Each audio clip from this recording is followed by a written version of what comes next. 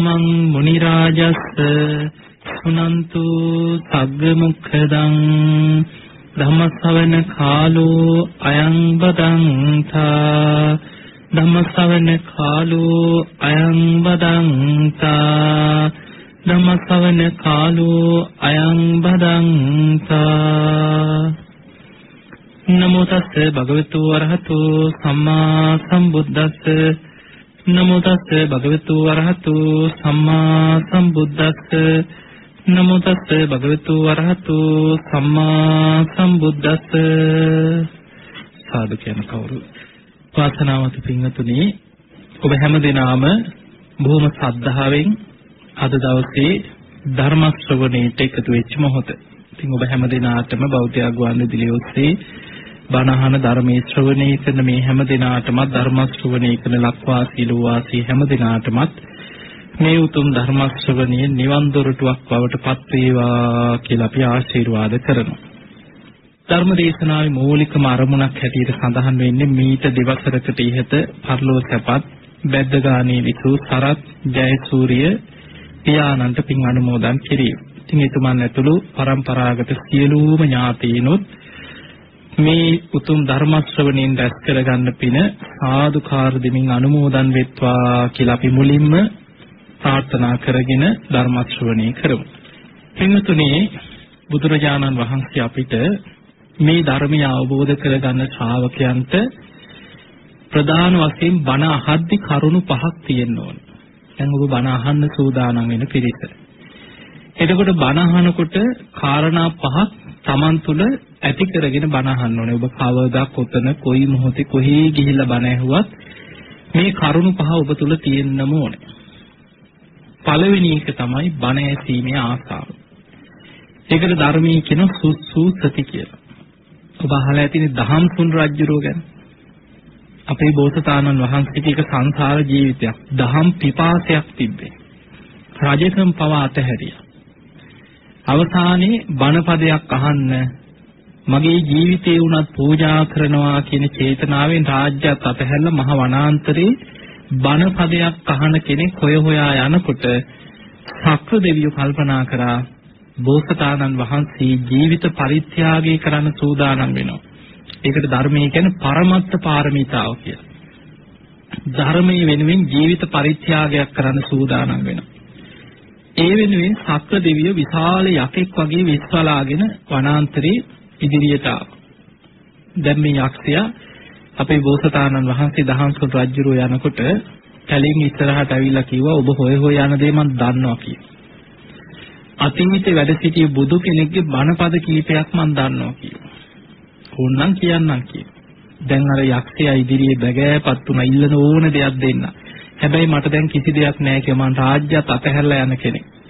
මට දෙන්න තියෙන්නේ මගේ ජීවිතේ විතරයි කියලා. එතකොට යක්ෂයා හයියෙන් hina වෙලා කියනවා මං හොඳටම බඩකින් ඉන්නේ.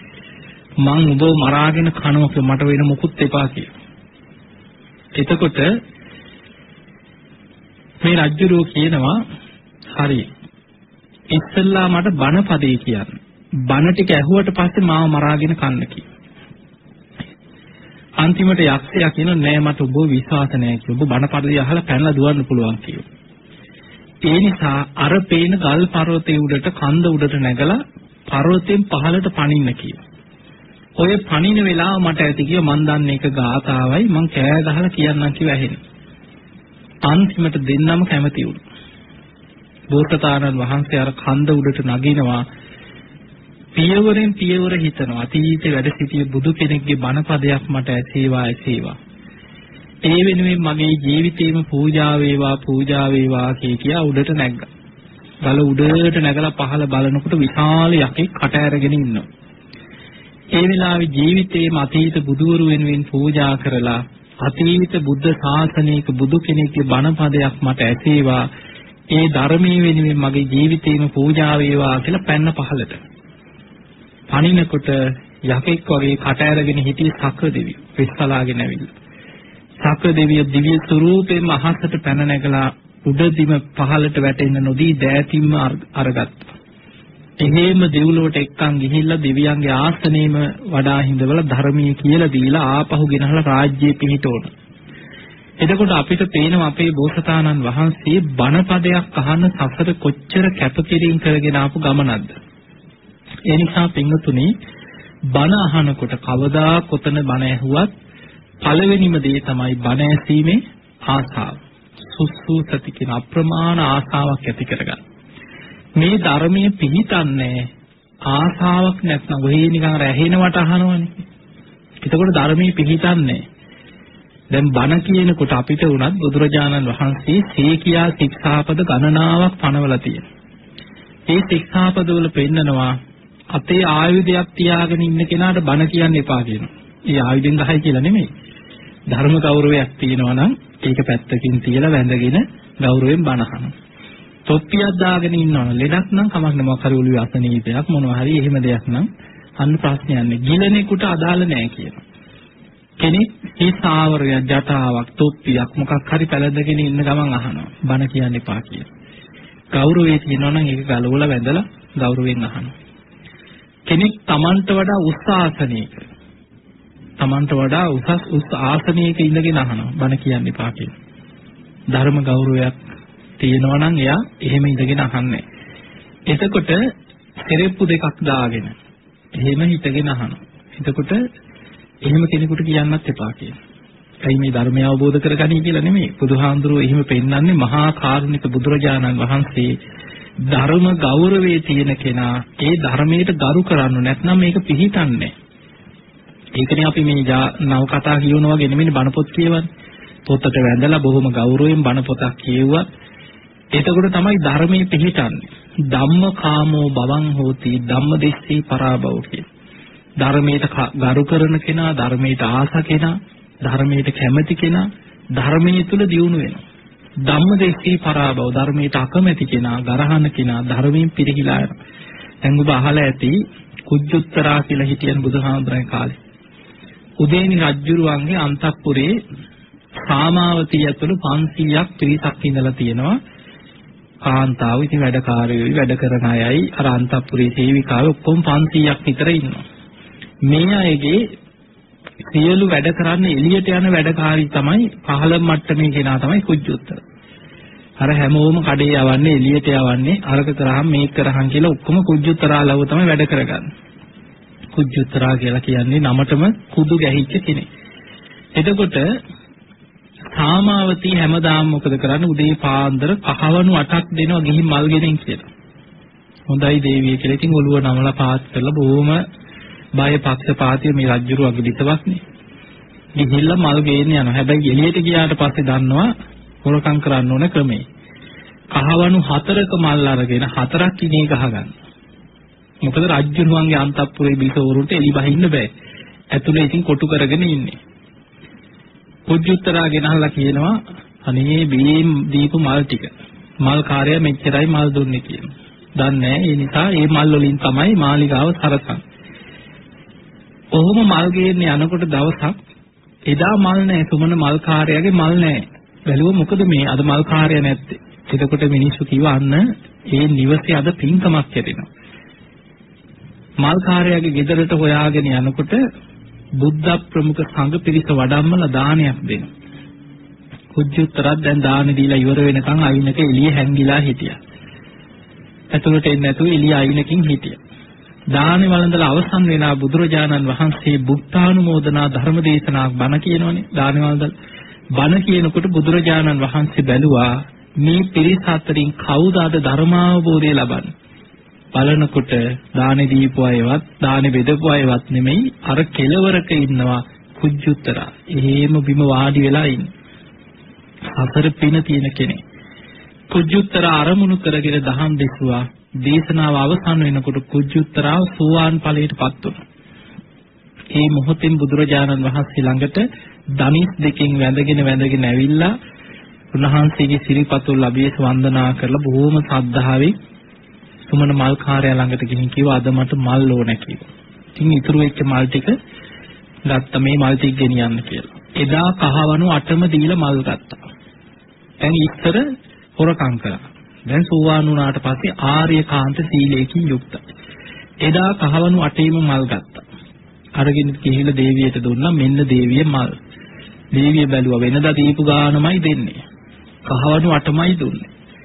අද මල් දෙගුණයක්. ඇත්ත කියාපන් කිය. මොකද මේ මල් කාර්යය මොකක් හරි හාදකමක් ඇති වුණාද? ඊට පස්සේ කිව්ව නෑ නෑ දේවී එහෙම දෙයක් නෙවෙයි.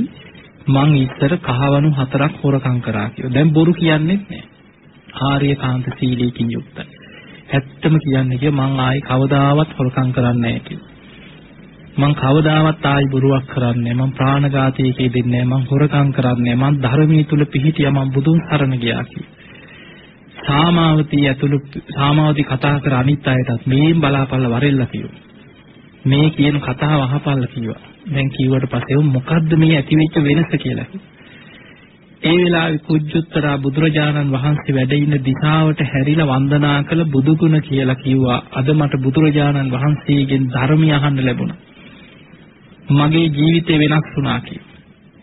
සාමාවතී ඇතුළු පිරිස හරිය ආසයි දැන් බනහන. හැබැයි මාලිගාවෙන් එළියට යන්න බෑ. කුජුත්තරාට කිව්ව අනේ කුජුත්තරා අද අහගත්ත බණ ටික මොනවා හරි මතක හිටින ටිකක් අපිට කියලා දෙන්න බැයිද? දැන් බලන්න ධර්මයේ පිළිහිටපු කෙනාට ධර්ම දේශනාවකදී තියෙන්න ඕනේ ගෞරවය. කුජුත්තරා කියන්නේ දැන් වැඩකාරිනේ. කඩේ යන්න කිව්වොත් කඩේ යනවා. කුණු ඇදපන් කිව්වොත් කුණු අදිනවා. අතු ගන්න කිව්වොත් අතු ගන්නවා. පැසකිලි හොදනවා නම් ඒවක ඕන දෙයක් කරයි. හැබැයි කිව්වා මම බන කියන්නේ නම් නෑ කිව්වා. ධර්ම දේශනා කරනවා නම් මාව මේ වැරහැලි ඇඳගෙන බන කියන්නේ නෑ කිව්වා. මාව සුවඳ පැන් වලින් නාවලා මට අලුත් සුදු සලුවක් දෙන්න කිව්වා. උස් ආසනයක් පනවන්න කිව්වා. මං උස් ආසනයක වැඩ ඉඳලා ධර්ම ගෞරවයෙන් බණ කියද්දී විසෝරුණත් බිම ඉඳගෙන පහත් තැනක ඊට වඩා පල්ලෙහා මට්ටමේ ඉඳගෙන බණ අහන්න කැමති නම් බණ කියනවා. නැත්නම් බෑ කියනවා. දැන් අන්න දැන් කාටද මේ නීති දාන්නේ? රජ්ජුරුවන්ගේ බිසෝවරුන්ට ධර්ම දේශනා කරන්න නීතිය දැම්මා කුජුත්තර. දැන් හිතන්න වෙන ඔළුව ඉදිමිච්ච බිසවක් නම් තියාගනින් උඹේ බණ කියලා ගහලම් පන්නන්නේ නැද්ද මෙතන? ඈ? එහෙම නෙවෙන්නේ නේ. හැබැයි පින තිබ්බ සතර පින් තිබ්බා. සාමාවතිය ඇතුළු 500ම සංසාරේ පින් තියෙනවා. ඒ වෙලාවේ හා කියලා ඉක්මනට සෝද පැන් වලින් අර කුජුතරාව නෑ ඔද වැඩකාරියෝ නාවනේ කවුද බිසෝරු ටික. නාවල වටිනා සලුවක් දීලා කිව්වා. එහෙනම් මෙන්න මේක ගෞරවයෙන් ඇඳගන්න කිව්වා. උස් ශාසනයක් අර 500ම එකතු වෙලා ලස්සන උස් ශාසනයක් පනවලා මල් වලින් සැරසුවා. සරසල ආසනයක් පනවලා ඔක්කොම බිම වාඩි වෙලා කිව්වා අනේ දැන් අපිට බණපදයක් කියන්න කියලා. කුජුත්තරා ධර්ම ගෞරවයෙන් වැඩලා ධර්මාසනයටත් වැඳලා ආසනයේ ළඟට ගිහිල්ලා බුදුරජාණන් වහන්සේ වැඩ ඉන්න දිශාවට හැරිලා වැඳලා වාඩි වුණා. වාඩි වෙලා අහපු බණ ටික බොහෝම ලස්සනට විස්තර කර කර දහම් දෙසුවා. දේශනාවේ තියෙනවා සෝවාන් වෙනකොටම සිව් පිළිසිඹියා ඥාන ලැබිච්ච පස් දිනක් විතර තියෙනවා. ඒ අතර ගිහි ශාවිකාව අතර එකම එක්කෙනා ඒ තමයි කුජුත්තර. සෝවාන් වෙද්දි සිව් පිළිසිමියා ඥාන පිහිටියා කියලා. පුංචි බණපදයක් ඇහුවා නම් ඒක විස්තර කර කර උපමා වලින් විස්තර ඇතුව වැටහෙන විදිහට දහම් දෙසන්න දක්සයි කියන. මේ සතර පින. බණහලා ඉවර වෙච්ච ගමන් සාමාවතී නැකිටලා සාදුකාරයක් දීලා කියනවා කුජුත්තරාව අද ඉඳන් කහවණු 16ක් දෙනවා කියලා. කහවණු 8ක් ඔබට කහවණු 8ක විතරක් මල් ගේන්න කිව්වා. හැබැයි ඔබට කහවණු 8ක් දෙන්න ඔබ හැමදාම මල් ගේන්න ගිහිල්ලා බුදුරජාණන් වහන්සේ වැඩ ඉන්න තැනට ගිහිල්ලා ජේතවනයේට හරි බණ කියන තැනට හරි ගිහිල්ලා අනේ එදාට එදාට කියන බණ ටික අහගෙන ඇවිල්ලා මේ වගේම අපිට බණ කියන්න කිව්වා. දැන් කුජුත්තරා හැමදාම මල් ගේන ගමන් ගිහිල්ලා බණ ටික අහගෙන ඇවිල්ලා සාමාවතිය ඇතුළු 500ටම බණ කියනවා. අර විදිහට ධර්ම ගෞරවයෙන්මයි බණ අහන්නේ. ඒ බණහලා මාලිගාව ඇතුළෙම ධර්මයේ දියුණු කරලා මොකද එලි බහින්න දෙන්නේ නැහැනේ ආයි බණහන්න එළියට යන්න බෑ ඇතුළෙම ධර්මයේ දියුණු කරලා අනාගාමී ඵලයටම හිත වැඩු ඔබ අහලා ඇති මාගන්දියා වෛර බැඳගෙන සාමාවති ඇතුළු 500ක් හිටපු ගොඩ නැගිල්ල ගිනි තිබ්බා කියලා තියෙනවා ගිනි ගන්න ගොඩ නැගිල්ල ඇතුළේ ඒ වෙලේ කුජුත්තරා නැහැ සාමාවති ඇතුළු 500ම ධර්මයේ දියුණු කරා අර ගින්නත් එක්කම පිච්චිලා මැරලා ගියා අනාගාමී වෙලා සුද්ධාවාස බඹල උපදින. එතකොට අපිට පේනවා ධර්ම දේශනාවකදී ධර්ම ගෞරවයේ බණ අහද්දි පවා ධර්ම ගෞරවයේ තියෙනවා. එතකොටයි ධර්මයේ පිහිටක්. දෙවෙනි එක තමයි සෝතං ඕදහති හොඳට කන් යොමු කරගෙන බණහන්න කියන්නේ. දේශනාවකදී අවධානය තියෙන්න ඕනේ දේශනාව ගැනමයි. මොකද මේ බණ ඇසීම නිවන් දොරටුවක් වෙනවා. බණ අහද්දිම අවබෝධ කරන අය නැද්ද? දැන් මේ බුද්ධ ශාසනයේ ඉන්න උග්ගටි තඤ්ඤු විපටි තඤ්ඤු නෙය්‍ය ඒ අය ධර්ම අවබෝධය ලබන අය. ඒ අතරින් උග්ගටි තඤ්ඤ කියන කෙනා බණ කෙටියෙන් ඇහුවත් ඇති කියලා එක ගාතාව අහලා මාර්ගඵල ලබන්න පින තියෙනවා. දැන් උපතිස්ස ගැන හිතන සාරිපුත්ත හාමුදුරන් ගිහි නමනේ උපතිස්ස. ගාථාවේ පද දෙකයි ඇහුනේ. හේ ධම්මා හේතුඵබවා තේසං හේතු තථාගතෝ ආහ කියන පද දෙක ඇහෙනකොටම සෝවාන් වුණා. ඒ වගේ කෙටියෙන් අහලා ධර්මාවබෝධය කරන්න පින තියෙනවා. ඒ ආදි කියන උග්ගටිතඤ්ඤ බණ ඇසීමෙන්ම නිවන් දකින්න. විපටිතඤ්ඤෝ කියන කෙනාට කෙටියෙන් අහලා අමාරු. යාට විස්තර ඇතුව දීර්ඝ වශයෙන් විස්තර කර කර බණ අහන්න. එතකොට බණ අහද්දිම හිත වැඩිලා දේශනාව තුළම බණ අහගෙන කන් යොමු කරගෙන ඉන්නකොට ඒ තුළම හිත එකඟ වෙලා බොජ්ජංග වැඩෙනවා කියන්නේ. ඒ තුළ දේශනාව කෙලවර ධර්මාවබෝධය ලබනවා. විපටිතඤ්ඤ කියන කෙනා. නෙయ్య කියන කෙනාට තමයි ඒ තරම් පිනක් නැහැ. ඉතින් එයා කාලයක් බණ අහනවා, සීල් දකින්නවා, භාවනා කරනවා, උත්සාහ ගන්නවා ටික ටික තමන්ගේ ඉන්ද්‍රිය ධර්මයන්ගේ ස්වභාවය තමන්ම අඳුනගෙන තමන්ම වීරිය වඩමින් ටික ටික දියුණු කරලා දියුණු කරලා එයා ප්‍රතිඵල කරා යනවා. එතකොට මේ බුද්ධ ශාසනය තුල බණ ඇසීම නිවන් දොරටුවක් වෙනවා. ඒ නිසා ඔබ බණ අහනකොට ඒ ගැනම අවධානය කන් යොමු කරගෙන බණ අහන්න කියලා. සෝතං ඕදහති. තුන්වෙනි කාරණේ අදිස්ථානයක් ඇති කරගන්න ඕනේ. අඤ්ඤාය චිත්තං උපට්ඨපේති. හිතේ අදිස්ථානයක් තියෙනවනේ මං කොහොම හරි මේ ධර්මයේ තේරුම් ගන්න. මේ කියන ධර්ම කාරණා මගේ ජීවිතේට මං ගලප ගන්න. කොහොම හරි මම මේ ධර්මය අවබෝධ කරගන්න. එවැනි අදිස්ථානයක් හිතේ ඇති කරගන්න. ධර්මාවබෝධයට හිත පිහිටවන්න. අදිස්ථානයක් ඇති කරගන්න. හතරවෙනි එක අත්ං ගන්හාති. අර්ථ ග්‍රහණය කරගන්න. බණහනකොට වැදගත් වැදගත් කාරණා මතක තියෙන්න ඕනේ. අන්තිමට බණ ඇහුවේ මොකක්ද? සාරාංශයක් Tamanට මතක තියෙන්න ඕනේ. හොඳට කන් යොමු කරගෙන බණ ඇහුවා නම් ඒකේ අර්ථය මතක තියෙනවා. අත්තං ගන්හාති. පස්වෙනි එක තමයි අනත්තං රිංචති. බණහන වෙලාවේ අනවශ්‍ය දේවල් සියල්ල බැහැර කරන්න ඕනේ. ඔන්න ඔය කරුණු ටික අපිට ඇති කරගන්න පුළුවන් නම් ධර්ම ශ්‍රවණිය නිවන් දොරටුවක් කරගන්න පුළුවන්. ඉතින් ඒ නිසා ඔය කරුණු ටික හොඳට මතක තියාගන්න ඔබ කවදා බණ ඇහුවත් ඔබේ ජීවිතේ බණ අහනකොට ධර්ම ශ්‍රවණී නිවන් දොරටුවක් කරගන්න නම් ඔන්න ඔය කරුණ ජීවිතය ඇති කරගන්න දක්ෂ කෙනෙක් බවට පත් වෙන්න. ඊළඟට පින්වතුනි අපි චුට්ටක් මේ කර්මයේ ස්වභාවය ගැන කරුණු ටිකක් විමසලා බලමු. මොකද බුදුරජාණන් වහන්සේ අපිට පෙන්නනවා උදේ හවස හිතන්න කියනවා මහණෙනි මම කර්මයේ සකීය කරගත්ත කෙනෙක්. කම්මස්සකෝමහි කම්ම දායාදු මම කර්මයේ දෑවැද්ද කරගත්ත කෙනෙක්. කම පටිසරණු මම කර්මයේ පිළිසරණ කරගත්ත කෙනෙක්. කම්ම බන්දු මට ඉන්න එකම ඥාතිය මගේ එකම නෑ මම රැස් කරගත්ත කර්මය. කර්මයේ මතයි මං උප්පත්තිය ලැබලා තියෙන්නේ. කර්මයමයි මගේ ඥාතිය මගේ යාළුව මගේ පසුපස සෙවණැල්ල වගේ ඉන්නේ මම කරගත්ත කර්ම. යංකම් මං කරිස්සාමි කල්යාණං වා පාපකං වා තස්සදායාදු. මම යම් හොඳක් හෝ නරකක් කරොත් ඒකේ විපාක මට එනවා කියලා හිතන්න කියලා. දැන් හිතමු මෙහෙම. දැන් අපි මනුස්ස ලෝකේ ඉපදිලා ඉන්න වෙලාව. කාම ලෝකේට අයිති මනුස්ස ලෝකේ තමයි දැන් අපි ඉපදිලා ඉන්නේ. දැන් අපෙන් කවුරු හරි ඇහුවොත් ඇයි මේ ඉපදුනේ අයියෝ මේ මනුස්ස ලෝකේ ඉපදිලා ඉන්නේ? ඇයි ඉපදුනේ කියලා කවුරු හරි අහනවා. ඇයි අපි ඉපදුනේ මේ? මොකද්ද ඉපදින්න හේතුව? බුදුරජාන් වහන්සේ පෙන්වන්නේ පුරාණ මිදම් භික්ඛවේ කම්මං කියන. මහණෙනි ඉපදීම කියන්නේ පෙර කර්මයක විපාකයක්. පටිච්ච සම්පාදි උගන්වනවා භවපච්චයා ජාති. උපදින්නේ ඇයි? භවය කියන්නේ විපාක පිණිස කර්ම හැදෙන්න නිසා උපදින. පෙර ජීවිතේ අපි කොහේ හරි ඉන්නේ නැතිනේ අපි දන්නේ නැති වුණාට කොහේ හරි අපි ඉන්නේ නැති. එතකොට පෙර ජීවිතේ අපි කොහේ හරි ඉඳලා මැරෙනකොට චුත වෙනකොට අපිට ආසන්න කුසලයක් හැටියට බලවත් වුණ අන්තිම මොහොතේ මේ වගේ මනුස්ස ලෝකයකට ඇදිලා ඉන්න පිනක් මතු වුණා. ඒ පිනෙන් අපි සුගතියකට ආවා. එක්කෝ අපි කරගත්ත පිනක් අපිට බලවත් කරගන්න පුළුවන් වුණා. එහෙම නැත්නම් අපේ කවුරු හරි ඥාතියෙක් හරි කවුරු හරි ළඟ හිටපු කෙනෙක් අපිට පිනක් බලවත් කරලා දෙන්නත් එත් අපි දන්නේ නැති වුණා. ඒ නිසා අපි මනුස්ස ලෝකයකට අද ඇදිලා ආවා. පෙර ජීවිතේ අපි මැරෙනකොට මීට වඩා ප්‍රබල පිනක් මතු කරගන්න පුළුවන් වුණා නම් එහෙනම් මෙලහට අපි කවුරුත් දිව්‍ය ලෝකවල. මීට වඩා ලොකු ප්‍රබල පිනක් අපිට බලවත් වුණා නම් ආසන්න කුසලයක් හැටියට මෙලහට එහෙනම් අපි දිව්‍ය ලෝකවල.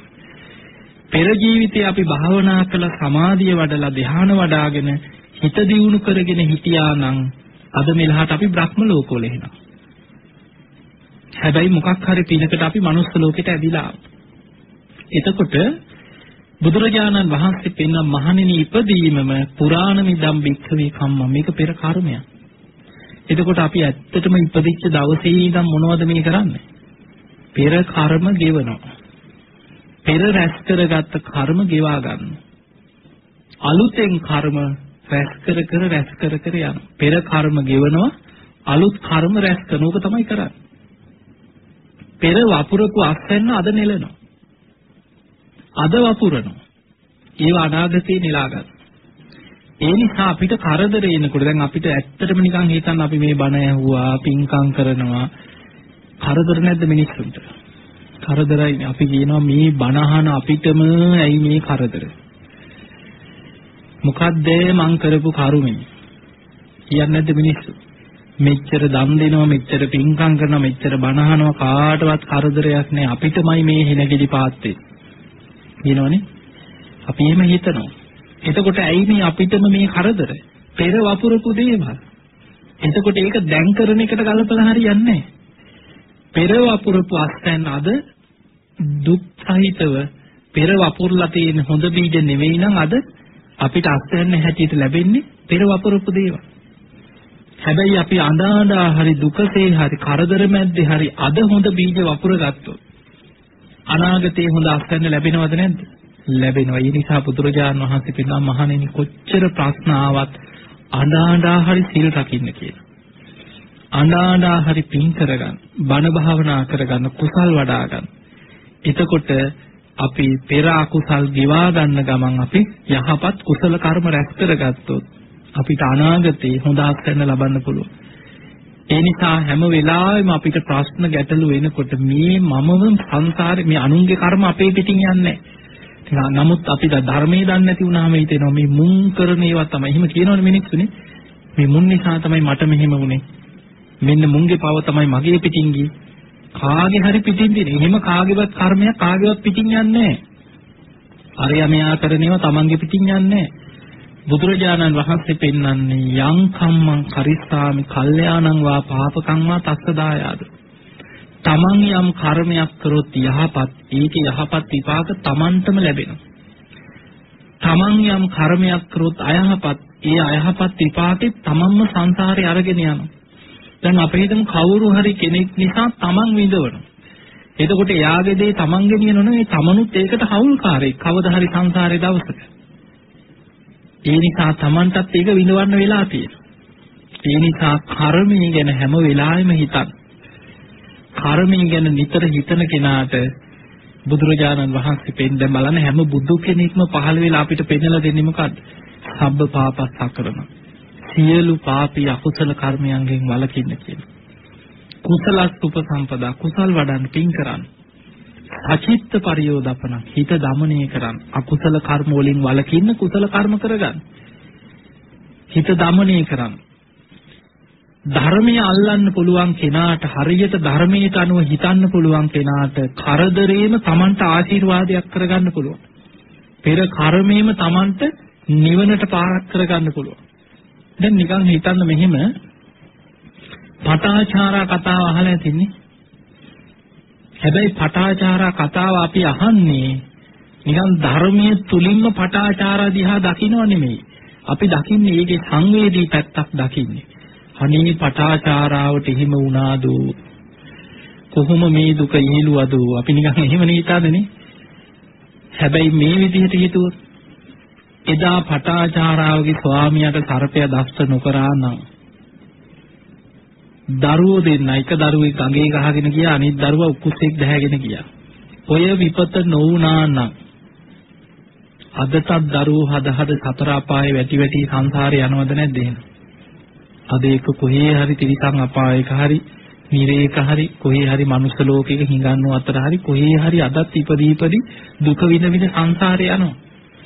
අර එක පිට එක පිට හෙනගෙඩි පාත් වෙනවා වගේ පටාචාරාවට ආපු කරදර ටිකම නෙමෙයිද නිවන් දකින්න Tamanට මඟ පෙන්නපු තැන.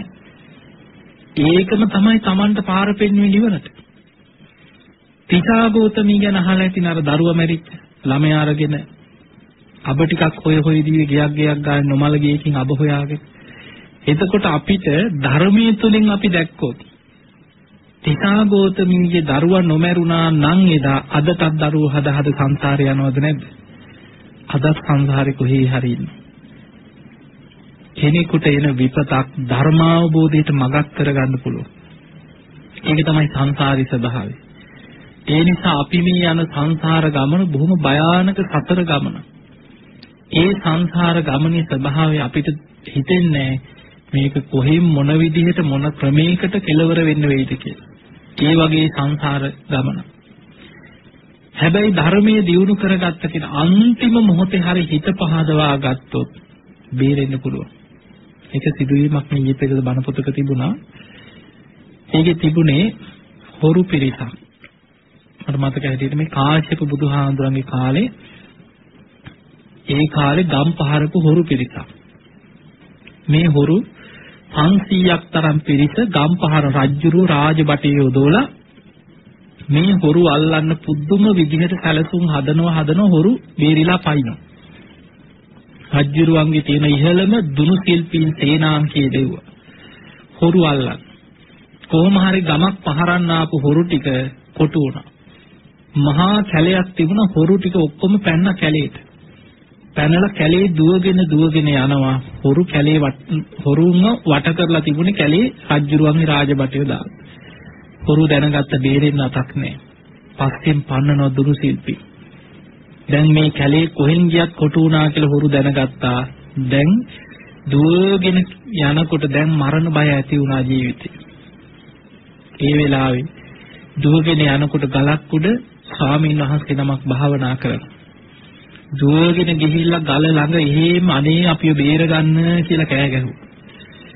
උන්වහන්සේ බැලුවා කරන්න දෙයක් නැහැ. උන්වහන්සේ කීර හිත පහදවා ගනින්න කිව්වා. හිත පහදවා ගන්න කිව්වා. එහෙනම් මෙන්න මේ විදිහට කියන්න කිව්වා. බොහොම වැඳගනින්න කිව්වා. දැන් අර ගල යට එහෙම 500ම වැඳගත්තා. බුද්ධං සරණං ගච්ඡාමි කියලා කියන්න කිව්වා. මම බුදුන් සරණ යනවා කියලා හිත පහදවා ගනින්න කිව්වා. ධම්මං සරණං ගච්ඡාමි මම ධර්මයේ සරණ යනවා කියලා හිත පහදවාගෙන ධර්මයේ සරණ යන්න කිව්වා. සංඝං සරණං ගච්ඡාමි මම ශ්‍රාවක සංඝයා මාර්ගඵලලාභී ආර්යයන් සරණ යනවා කියලා හිත පහදවා ගනින්න කිව්වා. ඒ විතරක් නෙමෙයි උඹලට බේරෙන්න කරුණු පහක් තියෙනවා කියනවා. මේ කරුණු පහ දිස්ථාන කරගනින්න කිව්වා. මම අද පටන් පස්සේ වැටදි කරලා ඇති කිව්ව කලින්. ඒව වැඩක් නෑ. දැන් ඉඳන් අදිස්ථාන කරගනින්න කිව්වා. අද ඉඳන් ප්‍රාණඝාතයෙන් වළකිනවා. හොරකමෙන් වළකිනවා. වැරදි කාම සීවෙනෙන් වළකිනවා. බොරුවෙන් වළකිනවා. මත්පැන් මත්ද්‍රව්‍ය භාවිතයෙන් වළකිනවා කියලා දැන් උඹලා අදිස්ථාන කරගනින්න. ඕක තමයි කිය උඹලට බේරෙන්න තියෙන්නේ. කියාපල්ලා කියලා පන්සිල් සමාදන් කරා. පන්සිල් සමාදන් වෙලා ඉවර වෙනකොටම රාජ බටයු ටික වට කරා කිසි කිසි කිසි කිසි කාලා ඊතල වලින් විදගෙන විදගෙන ගියා. 500ම එහෙම මැරුණා. අර ගල උඩ වැඩ හිටිය ස්වාමීන් වහන්සේ විතරයි බේරුනේ. රාජ බටයු ටික විද්දා 500ම මැරුණා 500 දෙනාම දෙව්ලෝ පහළ වුණේ. අන්තිමට මරණ මංචකේ හිත පහදවාගත්ත පින. ඒ දේශනාවේ සඳහන් වෙනවා මරණ මංචකයේ තුනුරුවන් ගැන හිත පහදවාගෙන සද්ධා කුසලයේ පිහිටගත්තොත් දහසක් අකුසල් යටපත් කරන්න පුළුවන්. හැබැයි ඒ වගේම තමයි මරණාසන්න මොහොතේ අකුසලයක් බලවත් වුණොත් කරපු දහසක් කුසල් යට යනවා. මරණ මංචකයේ ගොඩක් බලවත්. අන්තිම මොහොතේ හිත පැහැදුනේ තුනුරුවන් ගැන සුගතිය ඉපදුණා. ඒ 500 දෙනාම ගෞතම බුද්ධ ශාසනයේ බණහලා ධර්මය අවබෝධ කරගන්න රහත් වෙනවා. එතකොට අපිට පේනවා බේරුණේ අන්තිම මොහොතේ හරි හිත පහදවාගත්ත පිණින්, තෙරුවන් සරණ ගිය පිණින් අපිට බේරෙන්න තියෙන එකම දේ හැම වෙලෙම බුදු ගුණ ටික හිතන්න. ධර්මයේ ගුණ හිතන්න, සංඝ ගුණ හිතන්න, සද්ධාවේ හිත පිහිටවා ගන්න. මරණ සතිය වඩන්න, අනිත්‍ය ගැන මෙනෙහි කරන්න. වෙන බේරෙන්න අතක් නැහැ. ධර්මීයම සිහි කරන්න. ඒ නිසා අපි මේ මොනවා කර කර මොන දේවල් ගොඩනගනගා ජීවත් වුණත් අවසානයේ මරණ මංචකේ අපේ පිහිටට ඉන්නේ අපි රැස් කරගත්ත කුසල කුසල කර්ම ටික. අපි කරගත්ත පින. ඒ නිසා පුළුවන් තරම් පින් කරගන්න කුසල් වඩන්න කර්මයේ ගැන හිතත්. අපිම කරගත්ත දේවල් අපේ පස්සෙන් කැරකිලා එනවා. බුදුරජාණන් වහන්සේ පෙන්නනවා සමහර කර්ම තියෙනවා අපිට මෙලොවම මතුවේවි විපාක දෙනවා තියෙන. අපිම කරන ඒවා සමහර ඒවා මෙලව වෙනවා. ඒවට අපි කියන්නේ දිච්ඡ ධම්ම වේදනි. සමහර කර්ම තියෙනවා මේ ජීවිතේ විපාක දෙන්නෙම නැහැ කියන. ඊළඟ ජීවිතේ විපාක හම්බ වෙනවා මරණින් මත්තේ උපපච්ච වේදනිය. කර්මයේ ස්වභාවයේ සමහර ඒවා තියෙනවා නිවන් දකින්නකම් විපාක දෙන්න. ඒක ආත්මයක් දෙක නෙවෙයි හැම ආත්මිකම විපාක දිදී විපාක දිදී විපාක දිදී යනවා. නිවන් දකින්නකම් විපාක ලැබෙනවා. ඔය අතර සමහර ඒවා අහෝසි කර්ම කියලා අහලා තියෙනවා නිකන්. අහලා තියෙනවනේ. නිකන් නම ඇහිච්ච ගමන් අපිට හිතෙන්නේ ආන් ඒක නම් හොඳයි වගේ. අහෝසි කර්ම අපි අපි කරපු දේවල් අහෝසි කරගන්න පුළුවන් නම් කියලා හිතෙන්න පුළුවන්. මේක මේ පව් සමා කරනවා වගේ කරන්න පුළුවන් එකක් නෙමෙයි. අහෝසි කර්ම ගැන තියෙන්නේ මේ විදිහට. දැන් හිතන්න ඒක ධර්මාවබෝධයත් එක්ක ආර්ය අෂ්ටාංගික මාර්ගය තුලයි අහෝසි වෙන්නේ. යම් කිසි කෙනෙක් මේ ජීවිතේ වීරිය වඩලා කොහොම හරි සෝවාන් වෙනවා. සෝතාපන්න වෙච්ච කෙනාට අපායগামী අකුසල් සියල්ල අහෝසි වෙනවා. සෝවාන් වෙච්ච කෙනා අපාය වැටෙන්නේ නැහැ. උපරිම ආත්ම හතයි කියන එතනින් එහා උපදින්නේ නැහැ. එතකොට ආත්ම හතකින් එහා විපාක දෙන්න යම් තාක් කර්ම තිබුණද සෝවාන් වීමත් එක්කම ඒවා අහෝසි වෙලා යනවා. එයා මේ ජීවිතේ වීර්ය වඩලා සකදාගාමි වුණොත් ඒකාත්මයයි කියන කාම ලෝකේ ආයි උපදින්නේ. එතනින් එහා විපාක දෙන්න තිබ සියලු කර්ම යාට අහෝසි වෙලා යනවා. එයා මේ ජීවිතේ කොහොම හරි අනාගාමි වුණොත් සුද්ධාවාස බඹලව ඉපදිලා එහෙම පිරිනිවන් පාන. ආයි කාම ලෝකේ උපදින්න තිබ්බ කර්ම ඔක්කොම මෙලවම අහෝසි වෙනවා. රහත් වුණොත් මේ ජීවිතේ පිරිනිවන් පානකම් කොටසක් මතුවෙන්න පුළුවන්. ඒවට කියන්නේ ප්‍රවෘත්ති විපාක කියලා. පිරිනිවන් පානවත් සමගම සියලු කර්ම විපාක අහෝසි වෙලා රහත් වෙනකොට. ඒකෙන් රහතන් වහන්සේලා ගැන අපි කියන්නේ මෙහෙමයි ධර්මයේ තියෙන්නේ. රහතන් වහන්සේලා කීනම් පුරාණම් පෙර කර්ම ශේකරා කිය. නවන් නත්ති සම්භව. අලුත් භවයක් පිණිස අලුතෙන් කර්ම සකස් කර කර යන්නෙත් නෑ කියන. හැබැයි අපි මොකද කරන්නේ? පෙර කර්ම ශේකලා නෙමෙයි පෙර කර්ම විඳෝ විඳෝ යනවා දැන්. ජීව ගෙවා විඳවන. පෙර කර්ම ගෙවන. ඒ ගෙවන තමන් අලුතෙන් භවයකට කර්ම හදා හදා යනවා හැමදාම. මේ සිත කය වචනේ මුල් කරගෙන චේතනා පහල කර කර කර්ම රැස් කර කර රැස් කර කර අපි යනවා. හැබැයි රහතන් වහන්සේලා පෙර කර්මත් ඒකරා අලුතෙන් භවයකට කර්ම හදන්නෙත් නැහැ. විරත් චිත්ත ආයතිකේ බවස්මින් උන්වහන්සේලාගේ විඥානේ අලුත් භවයක පිහිටලා නැහැ කිය. විරත් චිත්ත ආයතිකේ බවස්මින් තේකීන බිහිජා අවිරුලි ඡන්ද. බීජයක පැලවෙන ස්වභාවය නැති වුණා වගේ කියන. නිබ්බන්ති දිහිරාය අතහයම් ප්‍රදීප පහනක් නිවිලා ගියා වගේ කියන. ඒ නිසා මේ ජීවිතයේ ස්වභාවයේ තමන් කරගත්ත දේවල් වල විපාක තමන් කරා එන.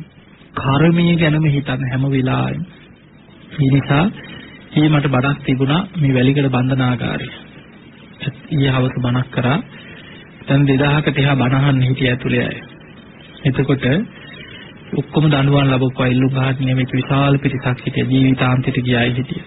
මේ වැරදි අඩුපාඩු කරපු මිනිස්සු සමහර තරුණ ළමයි මූණු දැක්කාම සමහරු පූස් පැටව වගේ. හිතා ගන්න බෑ ජීවිතේ.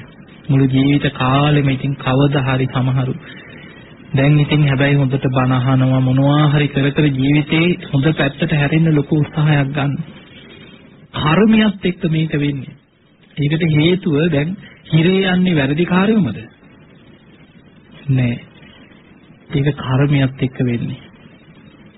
සමහර වෙලාවට එළියේ ඉන්නවා ඊට වඩා අපරාධ කරපු එළියේ ඉන්නවා. සාක්ෂි මත තමයි ඒක තීරණය වෙන්නේ.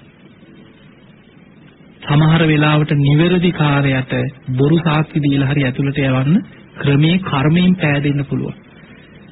හතුරු සැලසුම් කරලා නොකල වැරදි වලට අහු කරලා බොරු සාක්ෂි හදලා හරි ඇතුළට යවන මිනිස්සු නැද්ද? එහෙම වෙන්නත් පුළුවන් ජීවිතේ.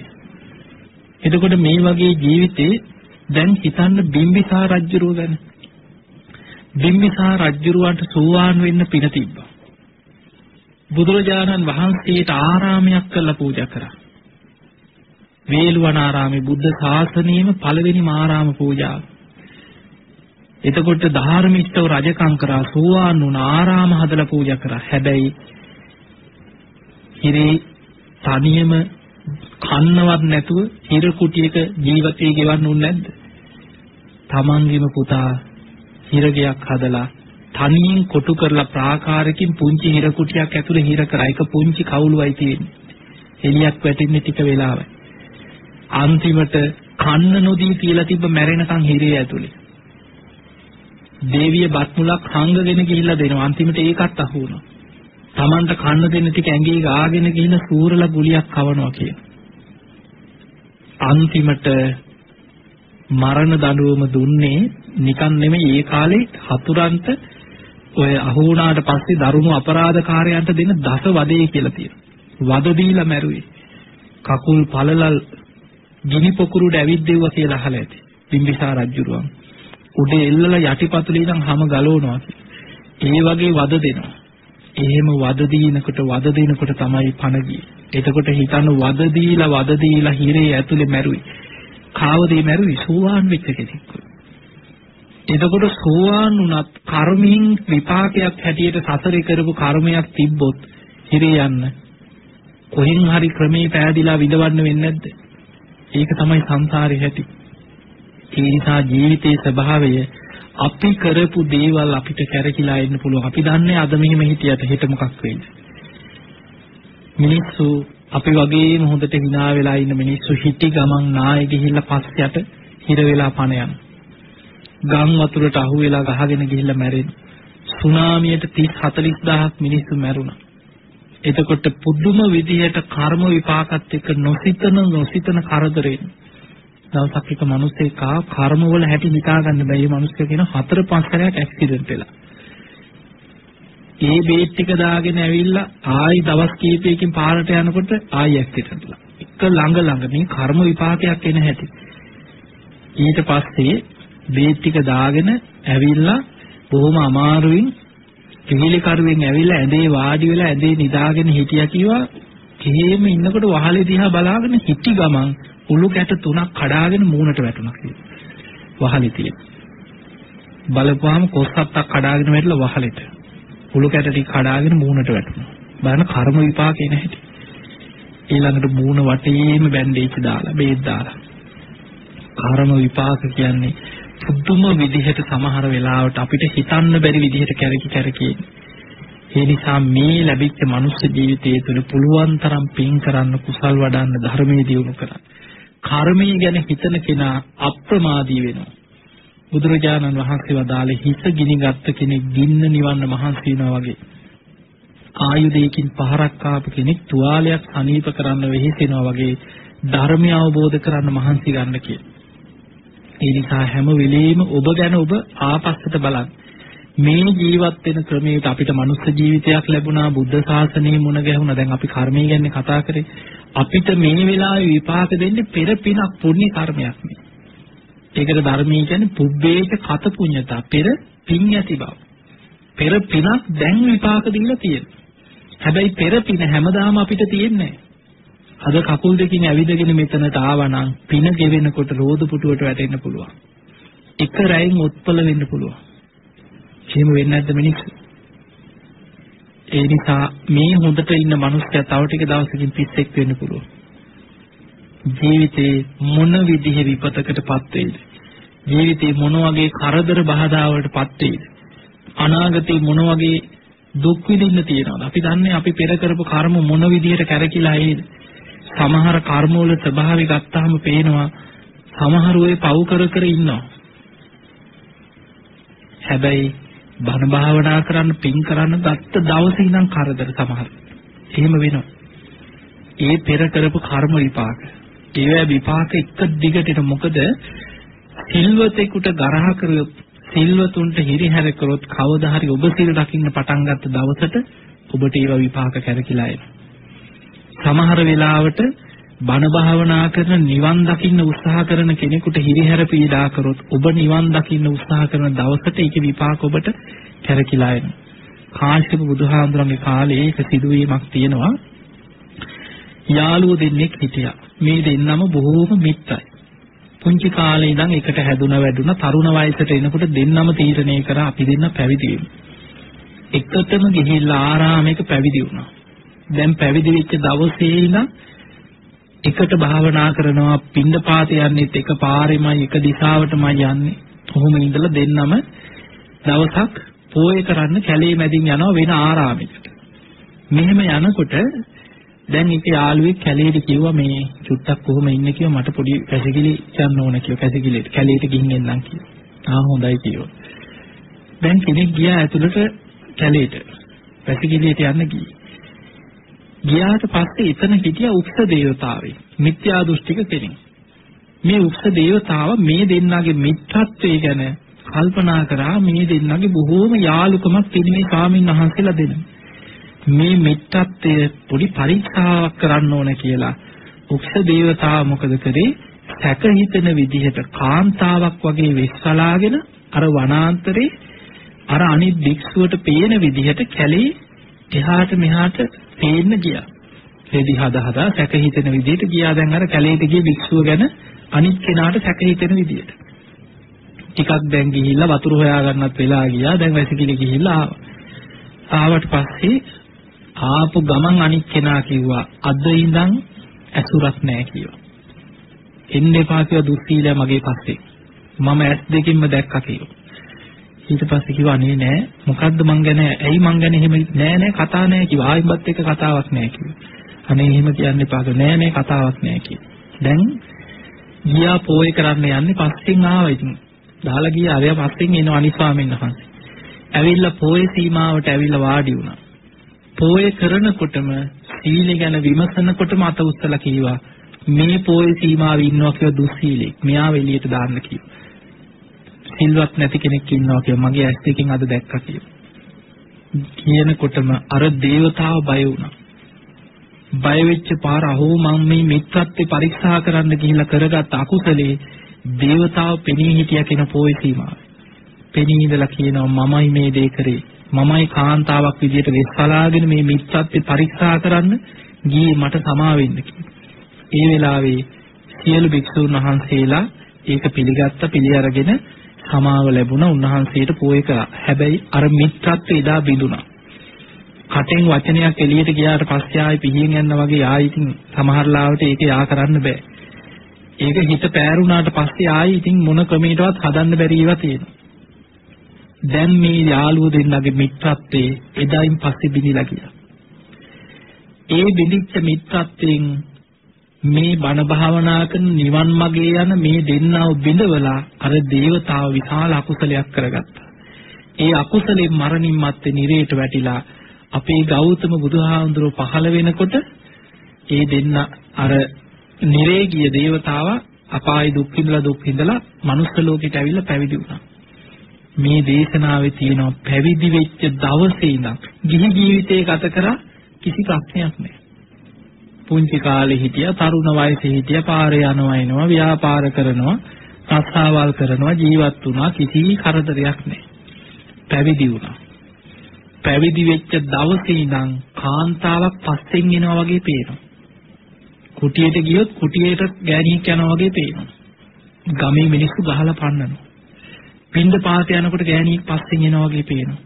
යන යන තැන් වල නින්දා විඳිනවා ආරාමවල ඉන්න බෑ. කරදර. හැමෝටම යන යන තැන සැක හිතෙන. බුදුරජාණන් වහන්සේ ළඟට ගිහින් කිව්වා අනේ ස්වාමීනි මං සිල්වත් කෙනෙක්. හැම තැනම මට මේ වගේ චෝදනා එනවා.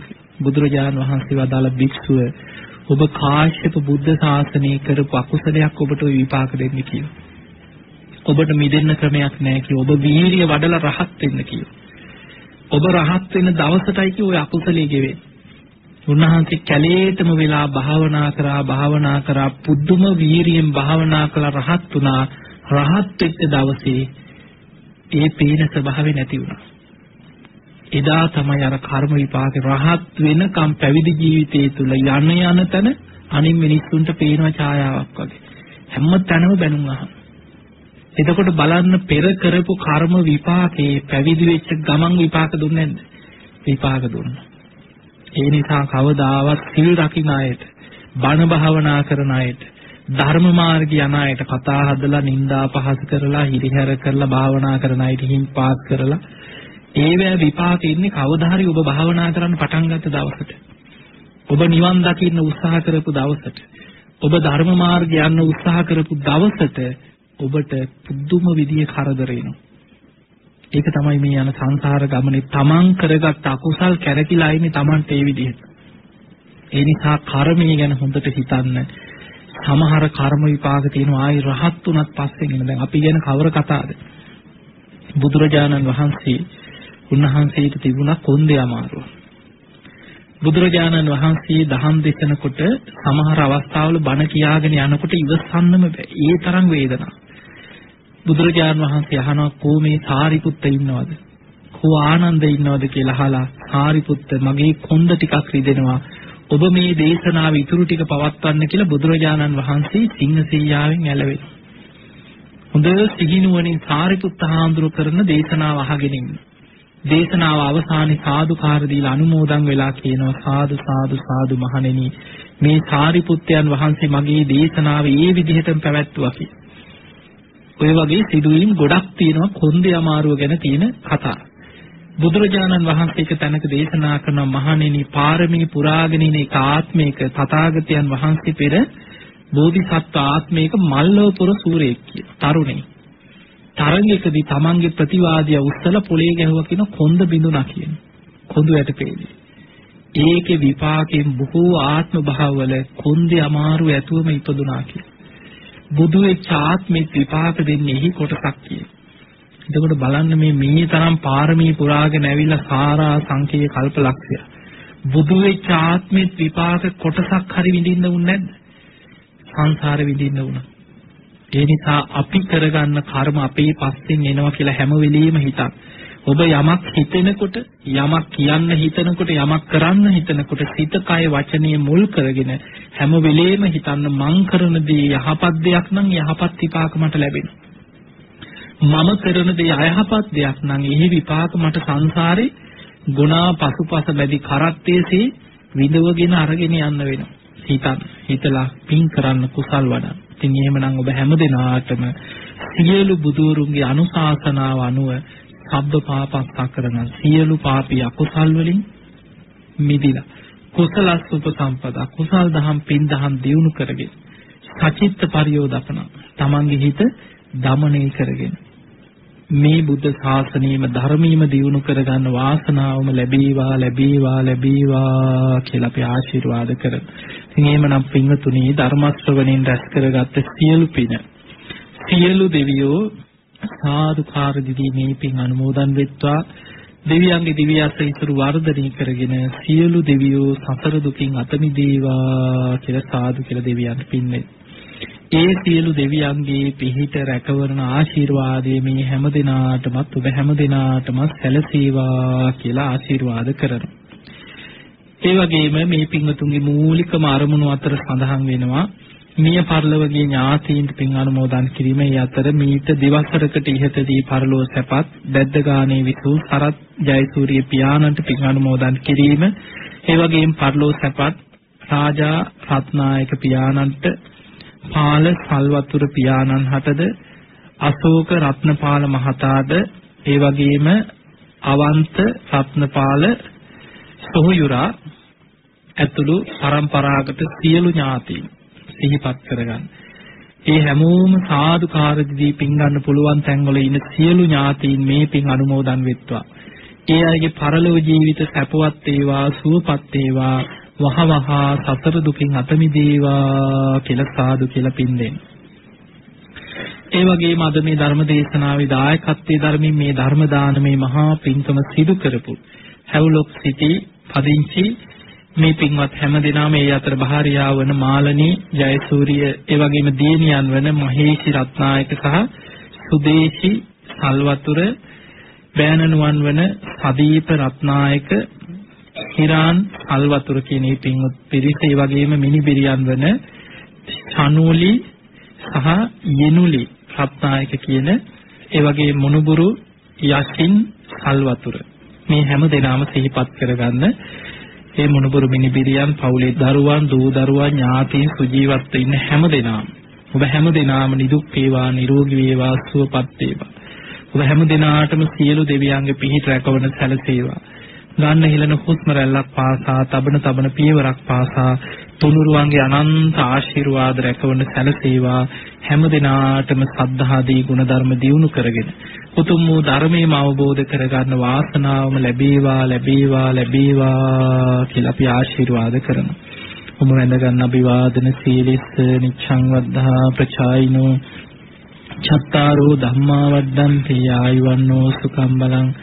ආයුරාෝග්‍ය සම්පatti සග්ග සම්පatti මේවච. අතෝ නිබ්බාන සම්පatti මිනාතේ සමිච්ඡතු හැමදිනාම නිදුක් වේවා. නිරෝගී වේවා සුවපත් වේවා සුවපත් වේවා සුවපත් වේවා. හැමදිනාටම තෙරුවන් සරණයි.